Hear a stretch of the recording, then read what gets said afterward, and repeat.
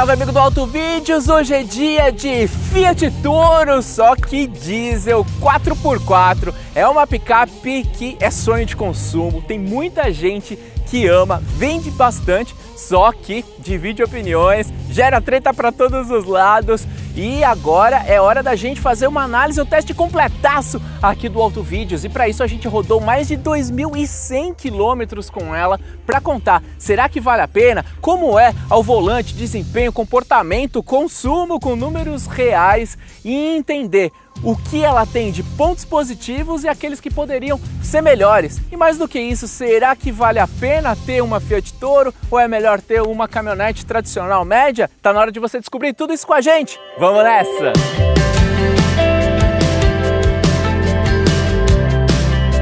Agora sim, olha só que linda essa cor aqui. Eu realmente curti demais essa combinação aqui desse vermelho vinho com os cromados dessa versão Ranch. E claro, você já está acostumado com esse design aqui da Toro, a gente sabe que virá uma reestilização em breve, mas enquanto isso, a gente precisa entender aqui o que essa versão a diesel oferece. Aqui no Auto Vídeos a gente já fez um vídeo completaço com a Toro na versão Flex. Então todos aqueles pontos que você está acostumado a ouvir a gente falando sobre projeto, plataforma, segurança, conceito e tudo mais, você acompanha no vídeo, o link está aqui acima e agora a gente vai falar um pouquinho dessa versão aqui, a diesel e Ranch. Na frente a gente tem o farol de neblina, direcional, a gente tem farol de LED aqui, mas não é tudo de LED e isso daí é algo que deve mudar também quando houver o facelift. E esse modelo conta com rodas 18, um desenho muito bonito, muito bacana e quando a gente se aproxima aqui tá o logo Ranch 4x4 diesel. Daqui a pouco a gente mostra o cofre aqui, ouve aquele ronco bonito da motorização tradicional de picape de caminhonete. Então a gente tem aqui apliques cromados, a gente tem esse estribo, o rack de teto aqui também e esse Santo Antônio integrado, todo invocado. Então eu acho essa combinação aqui extremamente feliz, muito bacana mesmo. Tem todo o lance de que a suspensão traseira é multilink, isso daí acaba trazendo muito mais conforto para quem vai rodar, principalmente num uso mais tranquilo, sem transportar tanta carga, em uso urbano. E quando a gente chega aqui na traseira, é outro aspecto diferenciado da Toro. E aqui no Auto Vídeos a gente já testou todas as caminhonetes médias e mostrou os detalhes, a nossa visão completaça com todos os segredos para você.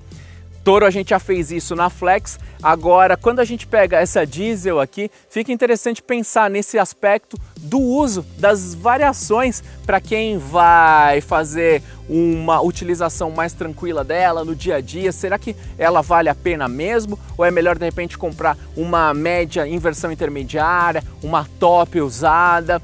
Para responder tudo isso, a gente vai gravar um vídeo só dando as impressões em relação a essas diferenças. Quando a gente chega aqui na traseira não tem como, né? Essa estrutura aqui de abertura dupla é muito eficiente. No começo eu também não gostava, assim como muita gente aí, mas quando você usa e principalmente para viagem, para bagagem, isso daí acaba sendo bastante prático porque a altura dela aqui é bem interessante, a profundidade não é tão longa. Isso daí traz uma flexibilidade interessante para quem vai realmente fazer um uso nessas condições utilizando a capota marítima. A gente tem aqui estrutura para engate nesse modelo aqui que tem, como eu falei, tração 4x4 e motor a diesel. Vamos conferir o coração dela então? Agora o ronco você já está ouvindo. Vamos abrir aqui o cofre para mostrar para você então o coração diesel Fiat Toro. A gente está falando aqui do motor Multijet, é um 2.0. E aí para quem é do diesel, de picape, fica sempre com aquela visão, nossa 2.0, será que dá conta? Ela é muito interessante. Como eu falei, se você não for fazer um uso extremamente pesado, com muita carga, com muito reboque, com muita pancadaria em terra, porque ela não tem uma perspectiva de robustez tão extraordinária também quando você pensa no lado é, do uso que uma caminhonete pode fazer, principalmente nas regiões mais complicadas aqui do Brasil. Então estava falando do Multijet 2.0, é um motor com 170 cavalos, com torque na região dos 35. Então aqui é outro ponto para você considerar quando você compara com uma caminhonete média que são mais torcudas, são mais potentes, mas um aspecto muito importante é que ela utiliza o câmbio da ZF de nove marchas. Dirigindo eu vou falar mais a respeito disso, mas isso traz uma eficiência muito grande. Então, para você ter uma ideia, o consumo dela pelo Imetro, 9 na cidade, no diesel, claro, e 11.2 na estrada. Aqui nesse nosso teste completaço, completaço de mais de 2.100 quilômetros, o marcador lá dentro está mostrando mais de 13 km por litro, que é uma média muito legal, porque eu passei por muitos desafios, fiquei muito tempo parado com ela também, em algumas situações mais complicadas, que daqui a pouco eu detalho. E então aqui a gente tem um nível de velocidade muito interessante que ele proporciona, é, considerando o porte do carro, retomadas, isso tudo acaba sendo muito, muito interessante. E esse motor aqui é um motor que vem importado da Itália, a gente sabe que dentro do grupo FCA a gente vai ter ali também a presença da FPT que faz motores diesel aí para Iveco e tudo mais. Então isso daí é um elemento bastante interessante, lembrando que a Toro compartilha essa motorização com o Renegade, com o Compass, assim como a plataforma e aqueles detalhes que só a gente conta para você. Ela é quatro estrelas também no Latin NCAP, porque a gente sempre valoriza isso tudo. E um ponto muito legal aqui, a gente está gravando com essa versão aqui da Fiat Toro e agora na linha 2021, a Ranch e a Ultra passam a contar com 7 airbags. Segurança é sempre algo extremamente importante aqui pra gente. E aí eu lembro para você o seguinte, você viu como eu falei de comparativo de outros carros e tudo mais, consumo, isso pesa no bolso. Esse carro aqui está custando no momento da gravação na faixa dos 170 mil reais. Então carro aqui no Brasil você sabe, é desafio para comprar, para manter, tem depreciação e você precisa evitar comprar carros que vão doer no seu bolso, causar arrependimentos amargos. Para isso, para te ajudar, a gente fez aqui no Auto Vídeos o Código dos Carros. O que, que ele é? Uma série de oito vídeos reveladores, contando segredos numa linguagem clara, precisa e reveladora para você ter todas as armas, todos os mapas, as chaves secretas para descobrir qual é o melhor negócio para você, para sua família podendo comprar um carro seguro, de qualidade e mais do que isso, você pode economizar. Olha, olha, olha só o seu bolso, hein? De 3 a 30 mil reais em até 3 anos. Você não vai ser enganado se você estiver bem preparado. E para isso, acessa lá o código dos carros.com.br. Agora vamos conferir o interior da Toro aqui e esse aspecto é muito legal porque banco de couro nessa versão Ranch aqui de extremo bom gosto, muito legal. Mas sempre fica aquela dúvida, né? Banco traseiro, quando a gente pensa em picape, é sempre um desafio. Então, ó, tô entrando aqui na situação extrema porque o banco tá ajustado para mim. Eu sou um cara que não sigo os padrões médios brasileiros, tenho 1,86. Primeira coisa, né? O piso mais baixo do que uma caminhonete média já traz uma sensação muito melhor. Isso é bem bacana. Só que o habitáculo não é tão grande, não é tão espaçoso. Então, aqui nessa circunstância, eu estou encostando o joelho, é, minha cabeça fica muito, mas muito próxima do teto. Você ouviu esse barulho aí? O trem passando aqui por perto. O Auto Vídeos gravando em qualquer circunstância para mostrar para você. Então, teria que ajustar aqui o apoio de cabeça, levantar o apoio de cabeça, abrindo a perna aqui. É, realmente, para mim, aqui tá, está no limite é, de espaço. Falta uma saída de ar-condicionado, mas por outro lado a gente tem entrada USB aqui e uma tomada 12 volts também.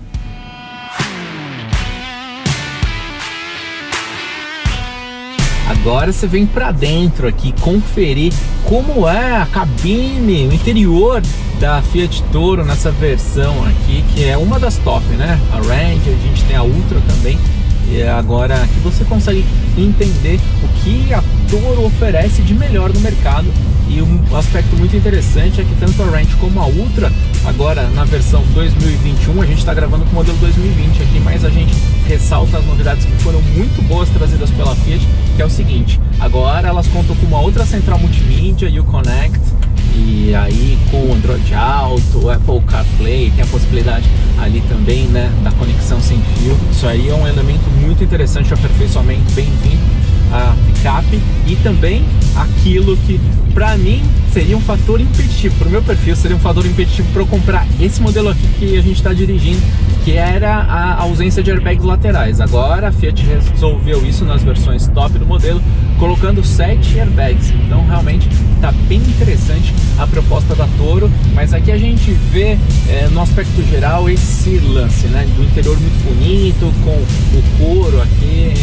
É, eu acho que a combinação do conceito Ranch com os elementos aqui, materiais escolhidos, realmente ficou muito feliz. O banco é confortável, como eu falei, a gente fez um teste de mais de 2.100 quilômetros, é, saindo de São Paulo, indo é, de, em direção à região sul, cruzando Paraná, Santa Catarina, fizemos as duas serras mais desafiadoras do Brasil, mas para contar isso vai ter um vídeo específico somente sobre impressões mais é, aprofundadas em relação a uma viagem longa, um teste mais é, complexo aí, como o ator se comportou. Aqui você está tendo essa visão já geral. Então, é, um dos elementos aqui que para mim poderia ser bem melhores na Toro é o volante. Eu acho que o volante destoa do padrão de qualidade do carro.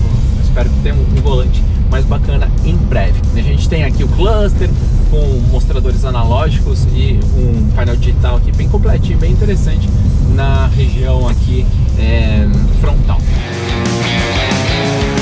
A posição de dirigir é elevada, é legal, é, dá para ter uma boa visibilidade.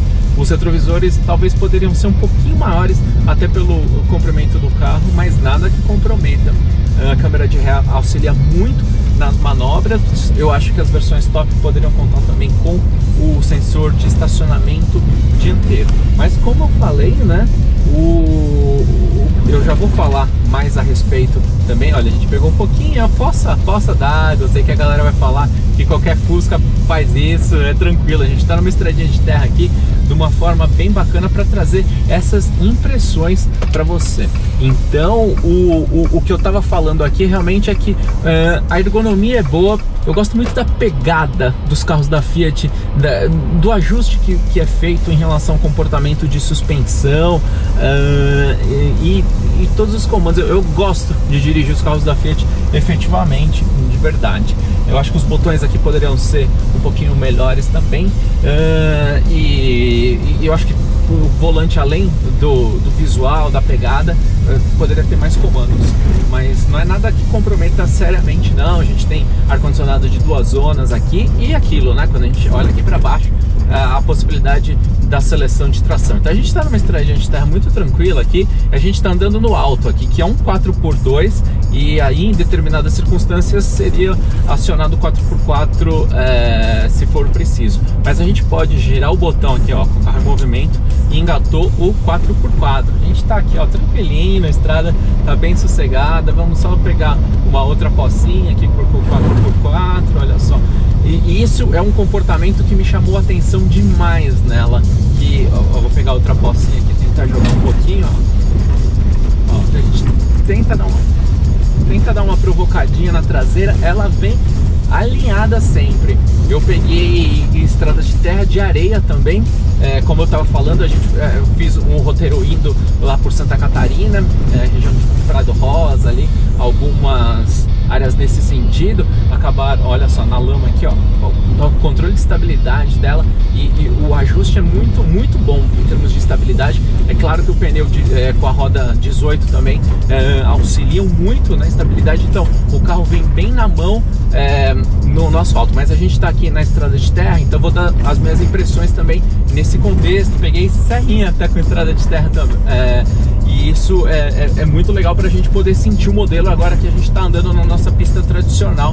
E o ponto é que a gente pode comparar com as caminhonetes é, médias também.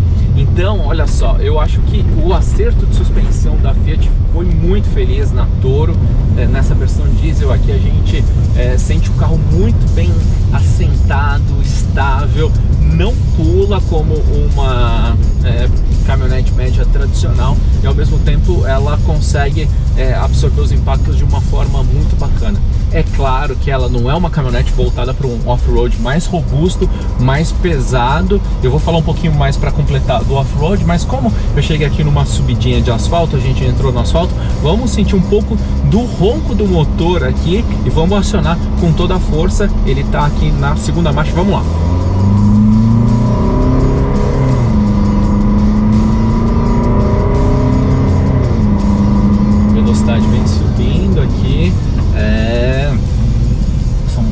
Respostas.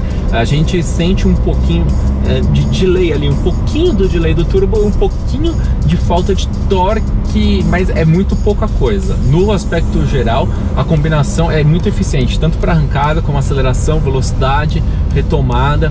O conjunto de freios é bem eficiente. Eu estava falando ali do off-road, para concluir, o ponto é que ela não é uma caminhonete, caminhonete. A gente já falou a respeito disso quando nós gravamos um vídeo falando se a Toro é uma picape SUV.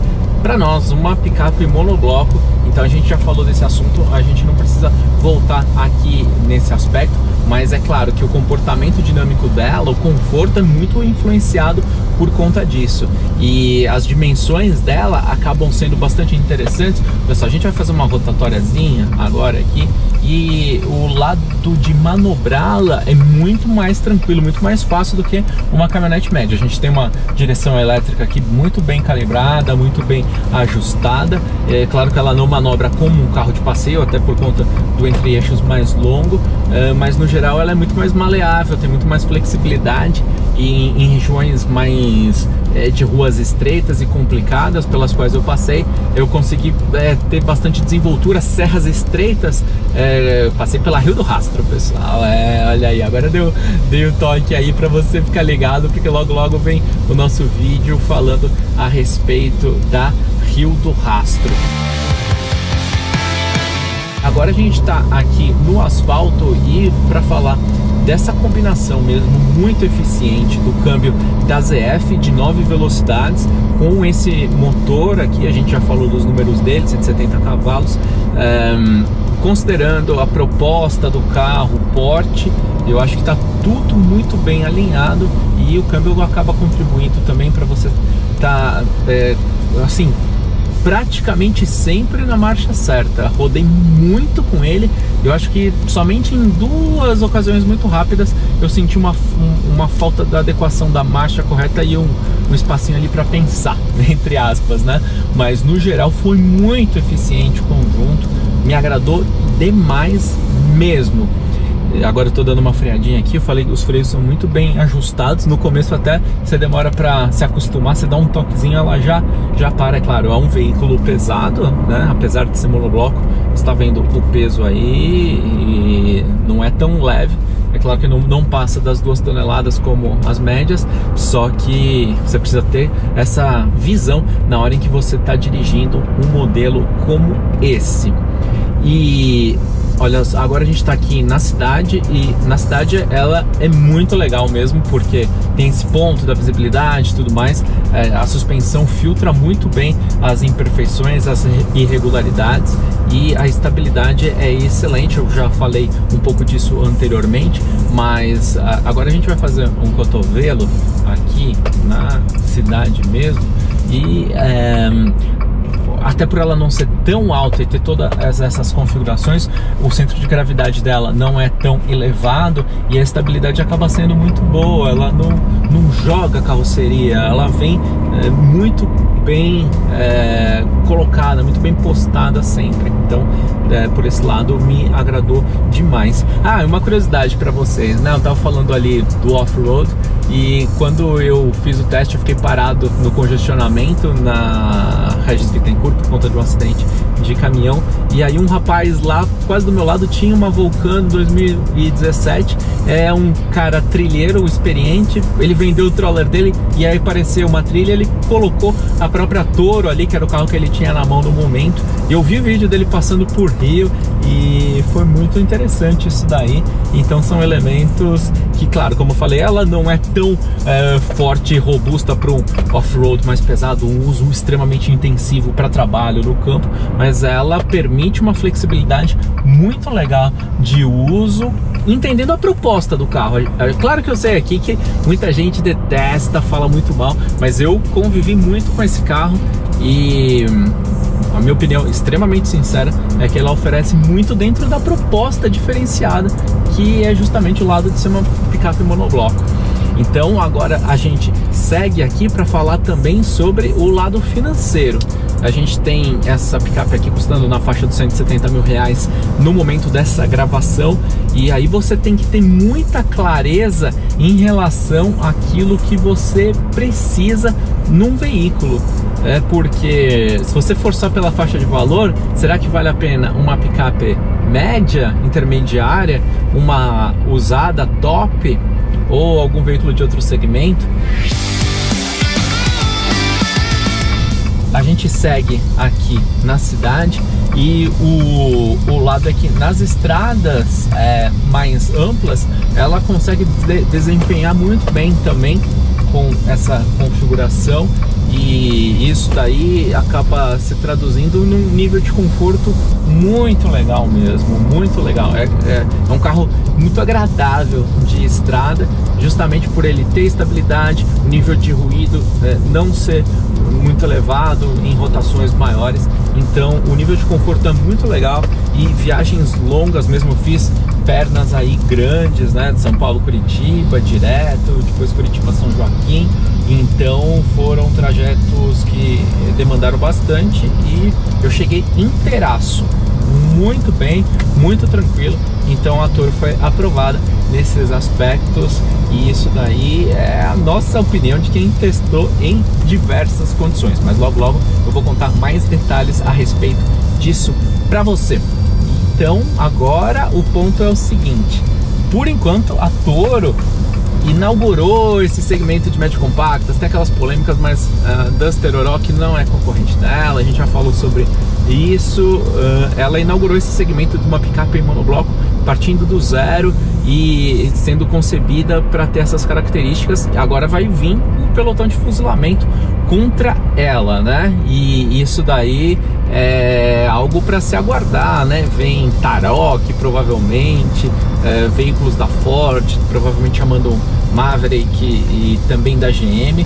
Vamos acompanhar, mas por enquanto o Toro vende muito, tem muitas qualidades, mas você também precisa levar em conta né, que o histórico de pós-venda da Fiat varia muito, né? Então, na sua região é importante você acompanhar como tem sido e também na hora de você é, pensar no modelo como esse, essa aqui faz revisão a cada 20 mil quilômetros, o que é um aspecto interessante. É por isso que a gente queria frisar aqui nesse vídeo alguns elementos diferentes dessa versão diesel, porque da Flex a gente já falou bastante.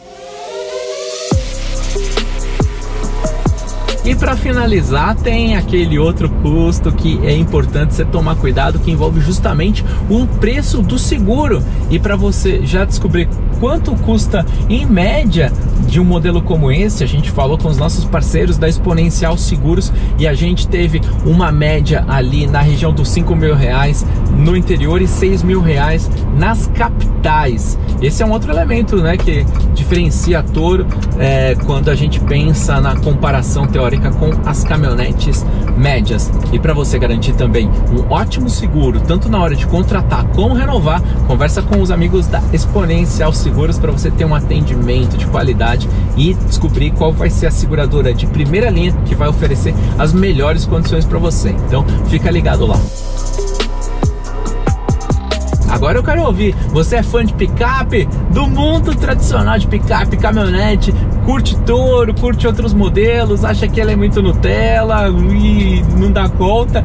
Diz aí, solta a voz, deixa o like pro vídeo caminhar, se inscreva no canal, ative as notificações e lembra de seguir o Auto Vídeos nas redes sociais, Facebook, Instagram, tem coisas lá no Instagram, nos stories que são exclusivas, você precisa estar tá lá para ficar por dentro disso e também acompanhe o Auto Vídeos na nossa família no Telegram. Valeu demais, obrigado pela atenção e um grande abraço!